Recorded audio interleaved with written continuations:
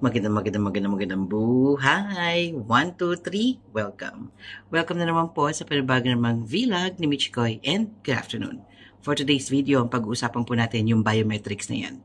Dami po nagtatanong, dami nag-worry, so tignan po natin kung paano po ito gawin and kung bakit po ito ginagawa. So dito po tayo kukuha ng appointment meta.e.gov.kw.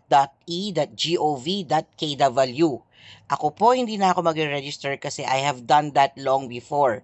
So kayo po ang magre-register since bago pa lamang po kayo. So ako po ilalagay ko na yung civil ID ko as my username and of course yung password ko ilalagay ko rin po and then click login. Pag nakapag-login na po tayo, makikita niyo na po yung dashboard and here you will see na meron na po akong tadan, dalawang previous na appointment. Click appointment search, lalabas naman po ngayon lahat ng ministries. And ang pupuntahan nyo naman po itong Ministry of Interior. Kiklik nyo po yan and ang hahanapin nyo naman po sa option na yan is yung personal identification. Pag na-click nyo na po yan, may bago na naman po kayong pipiliin. Ang pipiliin nyo po ay yung biometric enrollment. Click nyo po yan, lalabas naman po yung apat na lugar kung saan pwede po tayo mag-apply. Jara, Ali Suba Al Salem, Hawali and Al Asima at Farwania. So, tignan po natin paano. Click lang po natin yung Farwania. So, sa Farwania, meron lang pong 20 slots per hour. Puno na po yan hanggang June. Okay?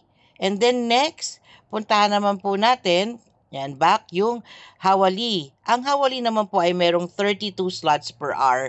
And ganun din po, puno na po hanggang June. Okay? And for the purposes of this tutorial, puntahan natin to Hindi ko alam kung saan yan. Ito naman po ay merong 20 slots per hour. Hanggang June din po yan. And then, sa Jara, 20 slots per hour din po hanggang June. So, Huwag kalimutan mag-log out. Ayan ha. Diyan po kayo mag-log out. And then, by the way, hanggang June lang po na first week, no? So, itry nyo po sa susunod. Huwag po tayong matakot kasi ito po ay para sa lahat ng 18 years old and above. Citizen, mga lokal, residents, kagaya po natin, or mga bagong papasok po dito, kukuhanan po talaga ng biometric. Ito po ay para sa security ng lahat.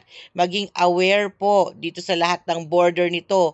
So, lahat po ng entry, air, land, or sea, talagang dadaan po sa biometric system. Okay, ito po is to control, 'di ba?